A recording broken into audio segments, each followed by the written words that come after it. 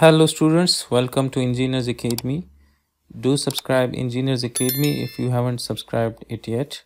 Now we are going to solve this problem which says that a trolley that moves along a horizontal beam is acted upon by two forces as shown. Knowing that angle alpha is 25 degrees, this angle alpha is 25 degrees, determined by trigonometry the magnitude of the force P so that the resultant force exerted on the trolley is vertical. So we have to find this P force magnitude if the resultant is acting in the vertical direction. And we have to find the resultant magnitude as well. So let's say that this is our free body diagram and we are given that this uh, 1600 Newton force is making 15 degrees at point A with the horizontal like this and we are given this p for uh, the angle of this p force with the vertical and that angle is 25 degrees. So now let's draw these forces. So we have 1600 newton force which is acting at an angle of 15 degrees with the horizontal. This is 1600 newton and the resultant is it is said that the resultant is vertical. So we have to draw the resultant in the vertical direction first. So this is my resultant. And so this means that the the vector sum of this 600 uh, 1600 newton force and the sum of this p force by head to tail rule they must give us a resultant in the vertical direction. So let's say that this is that p force which is acting from the head of 1600 newton force until the uh, head of the resultant so this is that p force. And this p force is making this angle with the vertical and that angle is angle alpha and it is given is 25 degrees in the problem statement. This a represents angle alpha. So this alpha is 25 degrees. So now if i draw a horizontal line here if we consider this as a horizontal line so if this is 15 degrees then this is 15 degrees.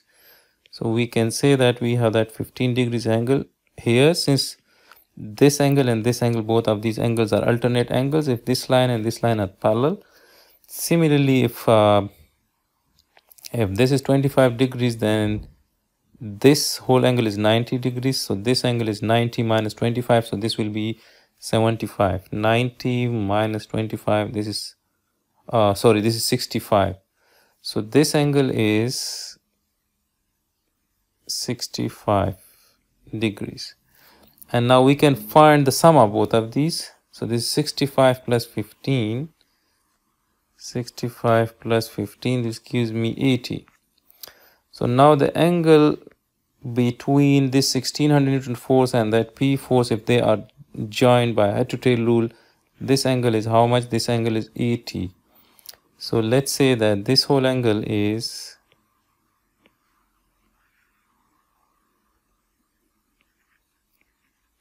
80 degrees.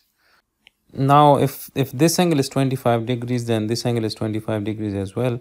Since both of these angles are alternate angles so we can say that this is 25 degrees. And similarly if this r is vertical so this is 90 degrees and this angle is 15 degrees. So we know this angle. This is 90 minus 15 so 90 minus 15 this angle is 75 degrees. So we can say that this angle is 75 degrees. So now we have this diagram. This is 1600 newton.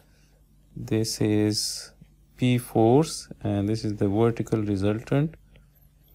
This angle is 80 this is 75 and this is 25 now we can find the this p force magnitude by using the law of sines. So using law of sines we can say that p divided by the sine of the opposite angle. So this 75 degrees. This is 75 angle. So sine of 75 degrees equals to 1600 we can only use this 1600 newton since we do not know the magnitude of the resultant. So we will use 1600 newton and the opposite angle. So 1600 divided by the sine of the opposite angle which is 25 so sine of 25 degrees. And now multiplying both side of equation by sine of 75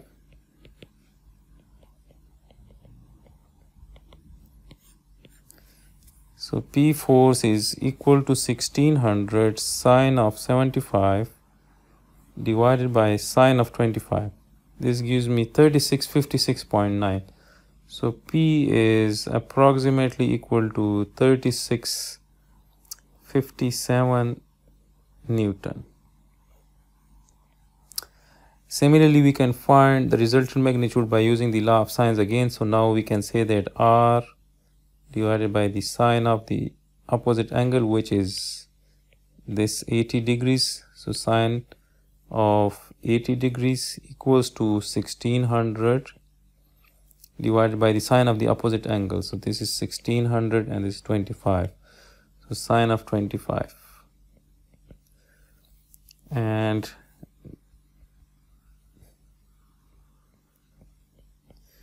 now multiplying both sides of equation by sine of 80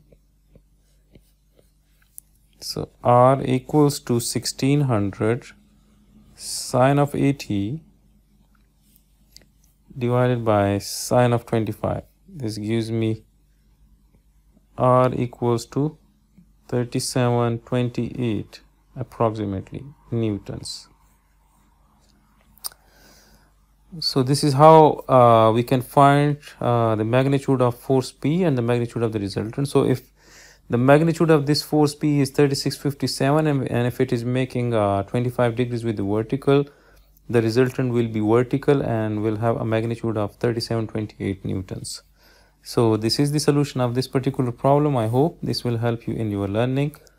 Do subscribe Engineers Academy for the solution of such more problems from vector mechanics by Beer and Johnston.